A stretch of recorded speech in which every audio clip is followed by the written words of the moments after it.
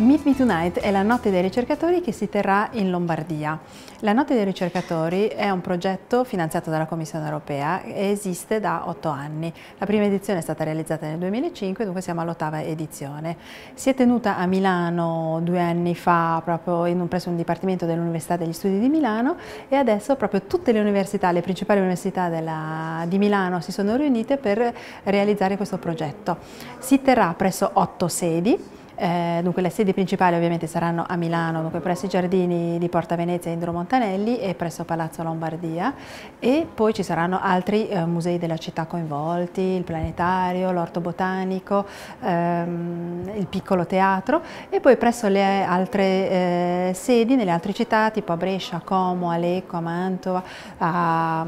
a Lodi eh, verranno aperti proprio i campus per poter, eh, affinché i cittadini possano proprio mettersi in contatto contatto direttamente con i ricercatori. Diciamo che il protagonista della serata è proprio il ricercatore, perché il ricercatore è una persona normale però che fa un lavoro straordinario e dunque deve mettere a conoscenza la propria attività, il proprio lavoro eh, ai, mh, nei confronti dei cittadini. L'obiettivo del progetto è quello proprio di portare i eh, ricercatori in piazza eh, per organizzare delle attività con i cittadini. Eh, è importante che siano colpite tutte le fasce di età, dunque che tutti, dai bambini agli adulti, vengano a conoscenza di quello che può fare un ricercatore ricercatore. Dunque abbiamo declinato diverse attività di ricerca in macro categorie che vadano dall'arte a creatività, ai giochi, sport, ehm, food, eh, scienze e società affinché i, ehm, i, cittadini possano eh, capire esattamente che, che attività, che lavoro svolge il, il ricercatore. Eh, saranno organizzate più di 150 attività proprio presso le sedi,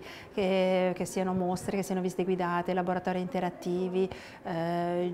giochi, dimostrazioni, proprio per, con, verranno allestiti dei piccoli stand affinché eh, tutte le persone, i cittadini che sono presenti nei, presso queste sedi possano proprio venire a contatto con le attività svolte dai, dai ricercatori e dunque anche interagire con loro. Però il ricercatore è anche una persona che ha delle passioni, che suona, che, che fa sport, eh, eh, che canta, dunque abbiamo organizzato anche un concorso musicale proprio eh, per fare una competizione tra eh, le band formate da ricercatori, dunque un concorso europeo eh, aperto a tutti i cittadini europei e tutti i generi musicali, lo apriamo a breve il 18 luglio fino alla fine del,